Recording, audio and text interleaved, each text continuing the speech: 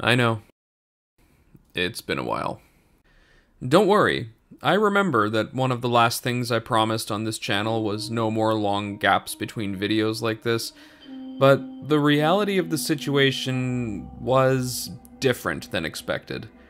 I don't really know when I will have the time or energy to produce these kinds of things in full anymore, but I miss it. I miss the editing, the recording, the writing. I even miss my neighbor's leaf blower ruining audio recording sessions a little bit. I get a real kick out of the idea of making these videos somewhat regularly. If I could find a way to consistently work on videos like the Danganronpa, Final Fantasy IX, or Kingdom Hearts videos, I think I'd be in a good place, but that seems to be harder and harder to find for me lately.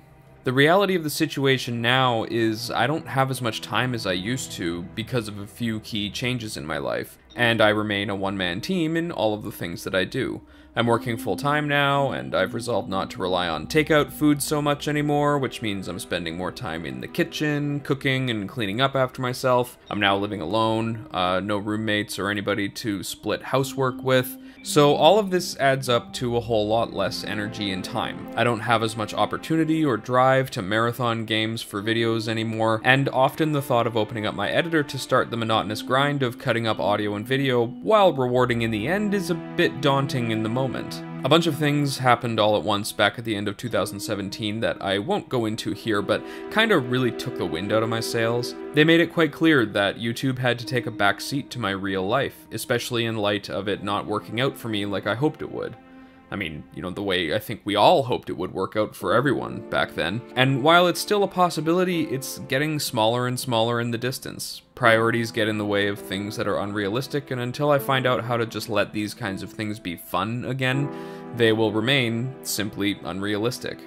Sorry for the pity party here, I'm not trying to bring down the mood, it's just that the mood is already down and this video is coming from a point of rest. For anyone watching this who has left nice or supportive comments on old videos, thank you. It means a lot, and I have read all of them, even if I didn't respond to them. I do take value in the fact that things I have made have helped or inspired or even just entertained people with degrees of separation from me.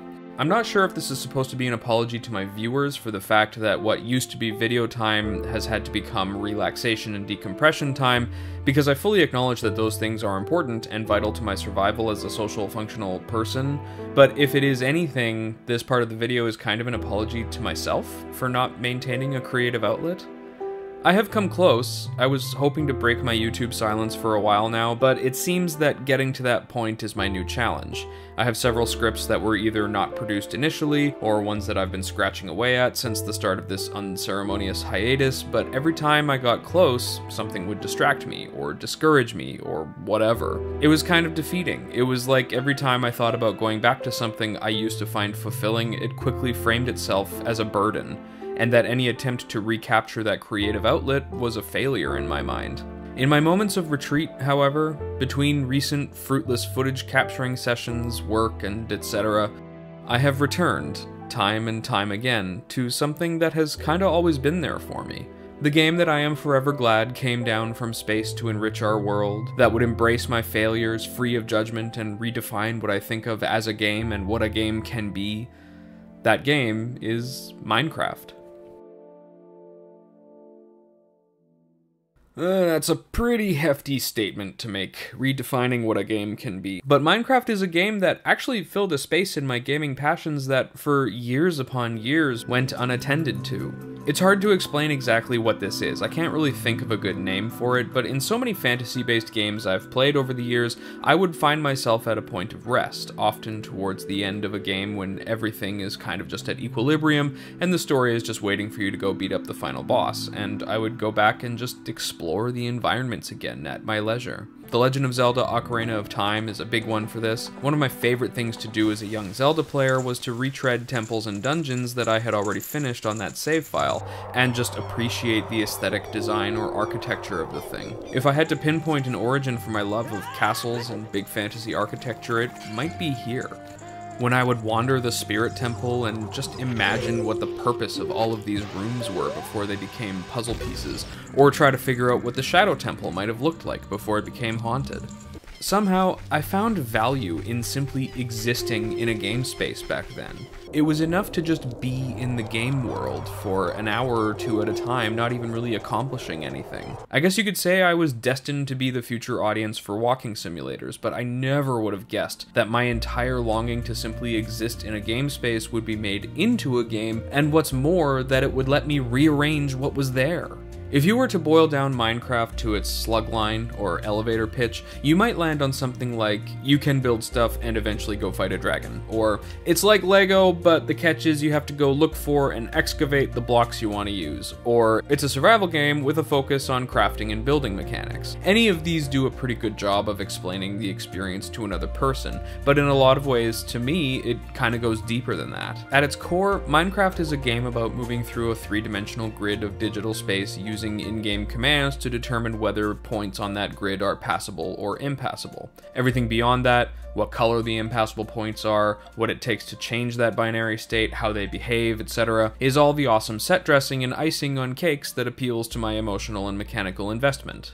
Where the game's profundity lies for me on a functional level is that it doesn't codify success for the player, or at least it doesn't specifically do so. There is no mechanical director to speak of, allowing the player to find their own satisfaction in playing the game without looking for objectives on a list, or the game congratulating you for doing what it told you to do. And, like, I enjoy this. This is a little hit of good job that I need from time to time, but I'm not always looking for that.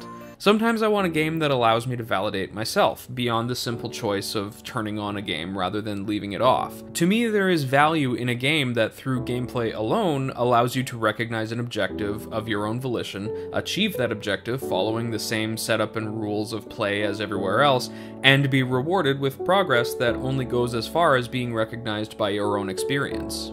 It's a tricky thing to grasp for sure, and I can't really think of much else out there that captures this. The closest I can think of, of games that I am familiar with, is Myst and its related games, though the first one is probably the closest to what I'm trying to get at. A chance to exist and explore a game space with puzzles hidden within it that at no point offers a mechanical incentive or inspiration to go out and do the things the game offers you. All of that happens in the text of the game, either the books in Atrus's library or your unsettling conversation conversations with Sirrus and Achenar, there's no menu or list of objectives to guide you into doing things. You just have to let the game be in front of your eyes and then carry on with it to your leisure. Dark Souls is another example, though more tenuously so. The first half of the game in particular does this for me. Casting aside for a second the difficulty and emotional strife the game is known for, I was, and still am, always more interested in the way the game tells you what needs to happen than just wishes you all the best as you strike out to see if your objective is in this direction or that direction.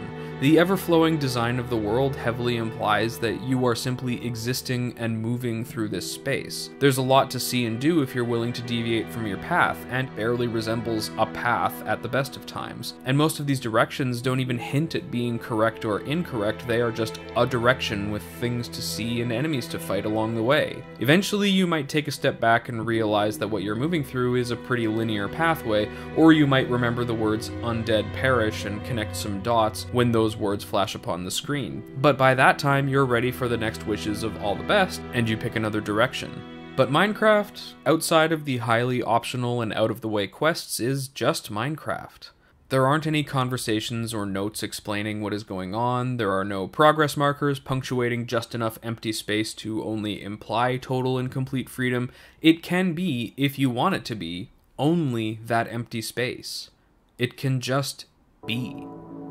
There is nothing in the game that is going to reward me for building Castle Good. I'm not even sure what a game that demands you to build Castle Good would look like. I'm sure it exists, but if it were to start grading me on things like symmetry or inclusion of specific elements, then that would defeat the purpose for me, as my specific desire would be secondary to the game's requirement to validate my own work to continue. It's definitely not a stretch to say I've put an embarrassing amount of time into Minecraft, at least for my standards. I've been playing off and on since 2011 when I got a laptop that could actually run it properly. This was back before the recipe book, before the dragon, before a lot of what is in the game now was in the game. Over the years, I have developed a process or procedure that has persisted as far as, well, the beginning of quarantine back in mid March when I jumped into my latest Realms server with some friends. Whenever I start a Minecraft world, I build a house. This house generally begins life as a hole in a hill with a bed, a work table, and a forge. The next several hours of resource gathering is usually allocated towards turning this abode into something more like this. After that, it's time to build a mine. It usually ends up looking like this because I think this looks cool. I, as in I and no one else. No one else usually even sees this, and yet I build it this way. After that, I start work on a castle. This is usually pretty freeform. I pick a spot that I think needs a nice piece of architecture, and I just start building rooms and towers and stuff. I try to let the landscape inspire what I build. Will it straddle a river? Will it climb a mountain? Will it be a fortress like functional structure, or some big sprawling and fantastical thing? It usually ends up being geared more towards the latter. Eventually, I start searching for spruce or dark oak wood trees before I can even start thinking about calling a castle finished, because those wood types make the best roofs. At pretty much any time in all of this, I'm likely to start mapping the world. Sometimes this is in assistance of finding the wood types I want, but mostly it's just because I find maps and being able to visualize landmasses as they pertain to the space I'm playing in fun. I love looking at world maps in games in general, but with Minecraft, there is a sense of comfort and eagerness that comes with them as I pick out places to build different kinds of things, like ports, castles, towns, etc., that I will likely never get around to actually attempting, let alone finishing. I could map in Minecraft forever. To me, it's my ultimate open world sandbox game. So much so that I'm not even sure I want to use the term sandbox to describe anything more controlled than Minecraft. This is the map I have for my current world. I haven't done any measurements of any kind, but I'm willing to bet it covers as much, if not more, space than any other open world game I've played, except for maybe Breath of the Wild, but, you know, give it time. Would you believe me though if I told you that I decided to go out and do all of this exploring completely of my own volition, and that nowhere in this entire stretch of game space were there any objectives or destinations for me to find? At no point did a little marker appear on the screen telling me I found Townsburg, or the Forgotten Dungeon Mine Ruins, or Castle this place. Everything I found in the world, every village, mountain, cave, crevasse, they were all just simply there. I mean, of course you would. It's Minecraft. That's what Minecraft does. And yes, I was on a mission the whole time. I was out charting the world. I was looking for places to build. Specifically, in this case, I needed dark oak wood, but the game didn't send me out looking for it. I went looking for it completely for my own purposes. Just like this house that I built, just like this castle that I started, just like this wasteful and impractical mineshaft I build every time. And I found some, eventually, down here. I had finally achieved my objective, and I could now make further progress in the game past an obstacle that was my own making. I wanted what was here instead of what exists back where I started, and what's more, everything I saw on the way was magnificent. If you let the world take you away, there are such beautiful things to see landscapes and biomes, rivers, valleys, and mountains. It's all randomly generated, and the world doesn't care if you explore it, it is simply there. And so am I. And that's what makes it so cool to me. By the time I end up with a map this big, chances are I have come across places that have struck me. I remember once I found a field of every flower in the game, all clustered together in a clearing in the midst of a dense claustrophobic forest. I once came across a spire like mountain that reached far above the clouds and further still past my render distance at the time that I never got around to fully exploring. I once found a rounded, sheer drop off of a cliff that fostered at least seven distinct waterfalls falling into the ocean that was underscored by a trench going almost as low as bedrock deep beneath the waves. Seeing these kinds of singular things within the context of the digital randomly generated world is enough to get me to stop and notice. Nowhere else have I experienced this. I mean, sure, I have been on trips to mountains and forested areas in real life. I've gone on wilderness hikes and seen amazing pieces of nature's work. I've seen these things in other games, games that create this effect by building themselves to be that. But there's something about how Minecraft is a computer simulated facsimile of a world that somehow loops back on itself to try and become like and as those natural wonders I've seen in person. A computer game that doesn't care if I think it's beautiful or grand or important. It is very possibly nothing more than a crisscrossing of tangentially related systems that collaborate to make something my chaotic, fallible, stupid human brain will find beautiful. It creates these things for me to experience and then never once asks me to go out and find them. And if these things are in fact created by programmers, exceptions added to the world generation by its creators, then how amazing is it that this singular world, generated for me, is now something that I'm effectively sharing? A connection I've made with a person I will never know, and who will never know me, nor will they ever know that they have affected me in such a way. I know I'm probably starting to sound a bit like Roy Batty at the end of Blade Runner, but all of these are memories gifted to me by my drive to build castles. Less specifically, my drive to find fulfillment out of my own loosely structured imagination applied to a game engine. Well, this is where I really start my Tears and Rain speech because you're probably wondering why I don't have footage of these beautiful things I've alluded to. That spire like mountain, that clearing of flowers. Everything I've shown you in this video is filler, placeholders, or approximations of what I remember. Why do I not have footage of all the things I've built over the years? It's because they're gone. The things I've discovered, the castles I've built, well, here comes failure. Tears meet rain.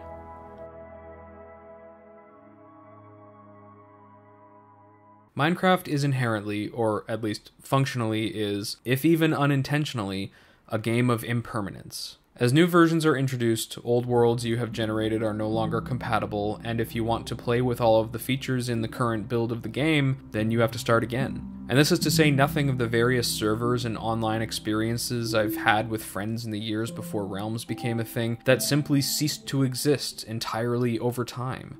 In every world I start in Minecraft, I go through the motions I described above. The houses, the castles, towns I've put together, even if I'm not very good at it, are always exciting and inspiring to me, while also remaining a comfortable habit that guides me through the beginning of every world I enter. If you've followed my channel in years past, or you've dug through my backlog for some reason, you may remember a time when I was doing big creative Minecraft builds as a celebration of subscriber milestones. It was nice because it allowed me to add a thing that I'm obsessed with to another thing that offered me fulfillment.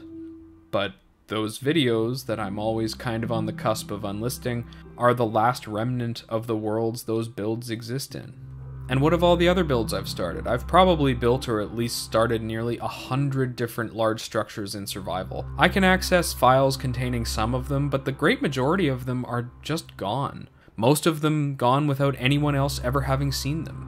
My desire to play a game comes and goes in waves. There are times when I'll be more than willing to put six hours of a day into Minecraft, only for that to fade over time as I get focused on something else. When I return, the game has often gone through several updates, and I don't want to go back to something. I want a new world, with new things to discover and new things to build. I remember once I was on a server with friends, and I was having the time of my life putting together my little kingdom down the way from where the others were building, and then one day I logged on to find that they had reset the world, because the rest of the players beat the dragon the previous night and starting over was always the plan. And I was a little annoyed and ticked off at them for doing that thing without due process of democracy, but in the end, I kinda wasn't bothered.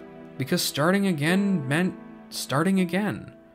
Which is kind of the best part of the whole thing. I get to fire up that imagination again, wrap myself in old habits, look at new maps, find new places to build, and start building something that I can look forward to seeing when it's finished. I have failed countless times in Minecraft. It's a weird perspective to take on a game like this, I know, especially the way I've played it. I have failed to finish building something I once cared about. I have failed to share this experience with others. I have failed to achieve something I can point to as an accomplishment, but in that, I have found days, possibly weeks worth of meaningful entertainment and comfort throughout my life. As I said before, this video is kind of an apology to myself for not maintaining a creative outlet over the last few years. Other than the Dungeons & Dragons campaigns that I've run in the last few years, there hasn't really been much on my side of things. There has always been a want to make stuff like this, but for various reasons, both trivial and legitimate, these things get sidelined or don't pan out. There's always an anxiety that output needs to be regular or it's not worth it. It's frustrating to me how long it took to properly produce my last few videos how long it's taken me to get back to it in general. I've got musical projects on hold. Dungeons and Dragons stuff always seems to be like a holdover until I feel the time is right to get to the big stuff. And all of that contributes to a desire to remain stagnant because that's easier. But in Minecraft, it's different. The aimless quiet, surmountable obstacles, and easy reassurance that eventually I won't have to worry about this in a while is a comfort in the same space as all of that anxiety.